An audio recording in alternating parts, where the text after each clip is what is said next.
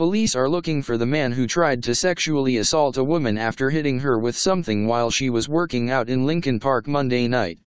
The 43-year-old woman was exercising along a walking path in the 1700 block of North Stockton Drive when a man struck her with an unknown object and tried to sexually assault her about 7.55 p.m., according to a statement from Chicago Police News Affairs.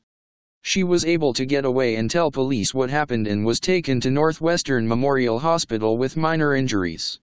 The attacker was described as being a very skinny man between the ages of 20 and 50, standing 6 foot 1 to 6 foot 6, the statement said. He was wearing a dark, hooded sweatshirt, had a foul personal body odor and spoke in a coarse manner, the statement said. No further information about his appearance was given. Anyone with information should contact Area Central Detectives, 312